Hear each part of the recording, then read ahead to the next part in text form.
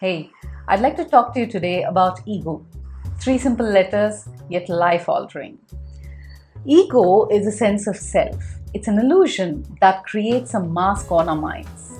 Every religion out there preaches that ego is your ultimate evil, the destroyer of relationships. My awareness of egos within me surfaced during my career transition. The need to free up my time and do something meaningful versus a comfort zone with a steady income. Where's ego in this, you may ask? The ego surfaced with this thought once out of a job, until I get a steady income, I need to rely on my husband for money. You see, up until that time, I was getting a steady income. I was an independent woman for over 23 years.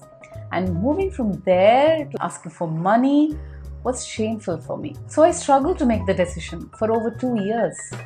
I worked on my ego. That was the first time I was conscious of its presence within me. My most recent example was when I was extending help to my friend running a workshop.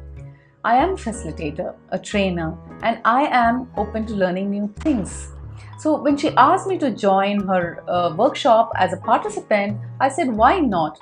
I said that from a point of helping her out.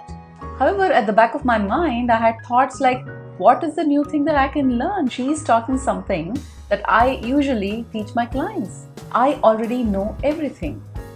Ego. But my sense to help was much, much higher. So I went ahead with it. And believe me, I had learned so much about my own approach to my business. How many times I get off track, off focus, and what I needed to do for exponential growth. So the point is, the moment I recognized the presence of ego, I worked on getting over it. The outcome was true learning. The ego is always within us. It's good if it fuels us to move forward. If we are mindful about it, we can use it constructively. So here's a question for you Are you aware of your ego? And are you using it constructively? Congratulations if you are. But if you're not, here is a three step method for you to identify and overcome your ego. When did ego last appear within you? What did it make you do? What is the outcome of it? Awareness is the first step to any change. This could take you some time and deep work, but believe me, awareness of ego can do you a lot of good. It can help you control and channelize your behavior. Remember, letting your ego control you is a choice. Once you recognize the pattern of that choice, you can decide what you want to do about it. Our ego won't let us accept that we have an ego. Acknowledging and accepting takes a lot of courage. Assuming you're already aware of it, try to accept that your ego was the root cause of some destruction in the past, perhaps a relationship. You may resist or deny the existence of it, but try just for fun, just to prove me wrong. It's quite possible that there is a tension that is rising up within you at this point.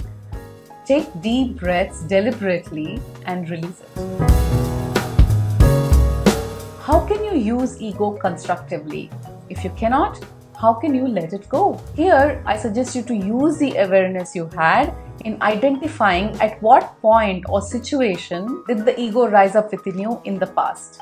And what options do you have to work around it? Let me give you an example. In my case, I felt it rise within me with the thought of feeling shameful or embarrassed, asking money from my husband, or arrogance learning from a peer. Since my thoughts are the root cause, replacing those thoughts and changing my narrative is my action point. It's up to you to decide what you want to do and how you're going to use it. And as I say it all the time, if you cannot work on yourself, do take help of your friends or family members or your partners, whoever can give you an unbiased, non judgmental support. You can do this best with guidance. I have used the 3A model awareness, acceptance, and action with many of my clients. Each stage takes time and some intense work to make lasting change. I hope it resonated with you. Let me know what you think about it. Leave a note in the comment section below, or you may reach out to me in any of the social media platforms that I'm in. Thank you so much for watching. If you like this video, do hit a like button and share it with your friends. And I'll see you next week. Until then, take good care of yourself.